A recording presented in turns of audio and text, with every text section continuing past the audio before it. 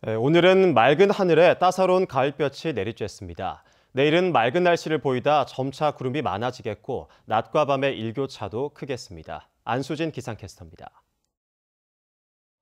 오늘 낮 동안에는 맑은 하늘에 따사로운 가을 햇살이 쏟아지는 하루였는데요. 내일은 대체로 맑다가 오후부터 구름 많아지겠습니다.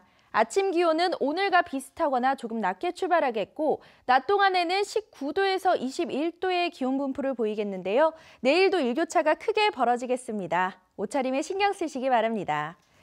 공기의 흐름은 원활해서 미세먼지는 보통 수준을 유지하겠고요. 대륙 고기압의 영향으로 대기는 건조하겠습니다. 내일 내륙과 산간 지역으로는 설이나 얼음이 어는 곳이 있겠는데요. 농작물 관리에 유의하시기 바랍니다. 자세한 내일 날씨 알아보겠습니다. 내일 밤부터 구름 많아지겠습니다. 아침 기온 5도에서 9도, 낮 기온은 19도에서 21도입니다. 울릉도와 독도도 오전에 막다가 오후에 구름 많아지겠습니다. 아침 기온 울릉도 13도, 독도 15도, 낮이 되면 울릉도와 독도 18도입니다.